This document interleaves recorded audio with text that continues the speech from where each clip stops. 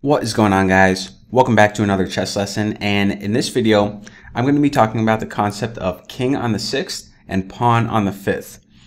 So what exactly is this idea and why do we need to study it? Well, this is essentially the position where as white we get one of our pawns anywhere on the 5th rank and above it, whether it's directly above it or one to the left or one to the right, in any of the three key squares above it, we have our king.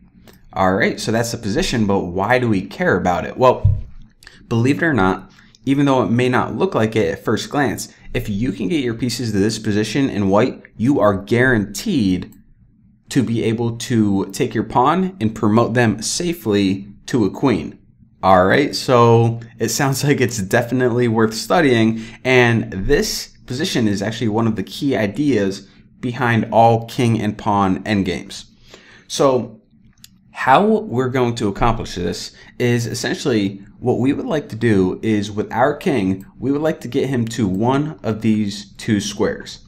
Now, if our king can get to one of these two squares, then that will mean that he will be controlling, in this case, e6, e7, and e8. Now, if our king is controlling these three squares, then we can safely march our pawn up all the way until it gets promoted. So that is essentially the rough idea, but let's go in and dive a little bit deeper and see exactly how we're going to accomplish that. So in the first example, what we're going to do is we're going to take a look at what happens when it is white's turn to move and the white king is directly ahead of the pawn. So the proper move in this position is actually just to take your king and sidestep it, either to the left or the right. It doesn't really matter. The chessboard is symmetric. So I'm going to take this king and move it one to the left. Now, the enemy king, this black king right here, it has three possibilities. It can move to the left, it can move to the right to f8, or it can move down at an angle to f7. Now, moving to the left or right is essentially the same concept, uh, so let's go ahead and cover that first. We'll say that the enemy king just moves one to the left. So now what we want to do is we actually just want to go ahead and take our pawn and move it up one from e5 to e6. Now, of course, the king doesn't want to, you know, go away in this direction. It's trying to defend this pawn from promoting. So it's going to go ahead and move back from d8 to e8. So it looks like the king is doing its job, but look what happens whenever we push our pawn from e6 to e7. So as we can see in this position, our king right here is controlling these squares and a few more around it, but they're kind of irrelevant. And our pawn is attacking this square and this square. Now, from this king's point of view, it has to move. It's black's turn to move. It can't just say, mm, pass. So it's forced, essentially, to make a bad decision. And since the only square that it can go to is this one right here, then, I mean, its options are rather limited. So we're going to go ahead and move the black king right there. And at this point in time, we don't want to move our pawn up quite yet. What we want to do is we want to first move our king up. And then it doesn't really matter where this black king moves. We can just go ahead and promote to a queen. Now, let me go back a few steps actually and say, okay, whenever we first sidestepped right here, the king didn't just need to go left or right. You can go ahead and go to this diagonal as well. So let me, actually, I'll reset this whole thing. All right, so we're gonna move the king left, and let's say the black king chooses to go down to this diagonal. Well, in this case, since our goal is to essentially control these three squares, because we know if our king can control these three squares, the pawn can safely march up, all we have to do is move our king up one. And from this point, the king can never go into this territory because it's protected by our king. So, you know, it doesn't matter if it goes here or wherever. We can just continue marching our pawn up until it promotes to a queen. Now in this example, we'll take a look at a slightly different variation where the king isn't placed nicely in front of the pawn, but it's actually one square to the left. So in this example, it's white's turn to move. So what is the proper play? Well, a lot of people, they just decide to push their pawn up, but that's actually not correct. Again, we are first trying to kind of push the king away from protecting these three squares. So what we're going to do first is we're going to say, okay, we're going to move the king to the right one space.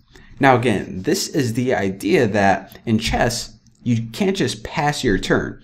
I mean, this enemy king is in the ideal position because right now is controlling these five squares. And since it's controlling these five squares, our enemy king can't get to it. Our pawn, of course, can't promote to a queen if something's in its square. So this is exactly where the black king wants to be. However, since it's the black's king turn to move, it needs to go either left or right. It can't go diagonal because, you know, it's being protected by my king.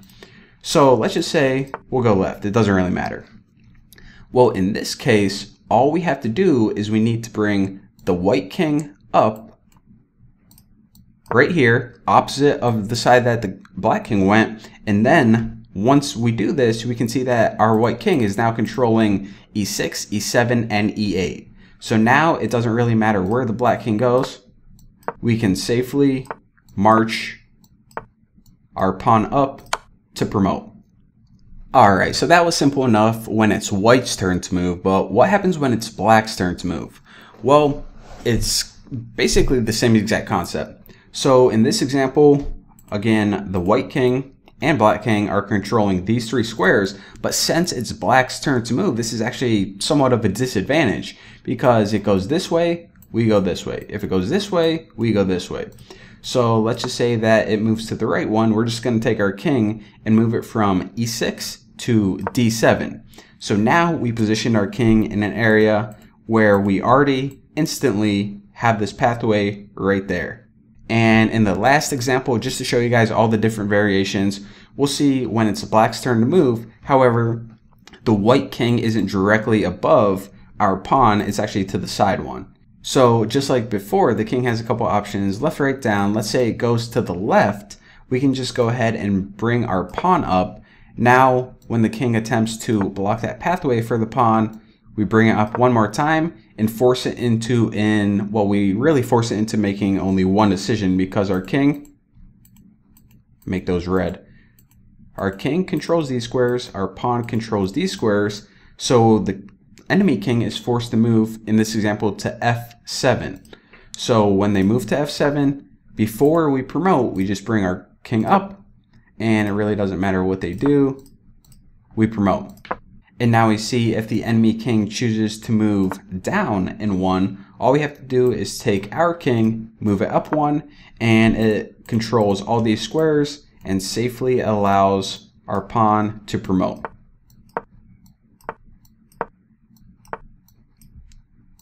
So there you go.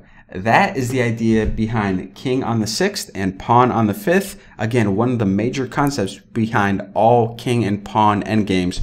So I hope you guys enjoyed it. Thank you guys for watching. Don't forget to subscribe. I'll see you next time.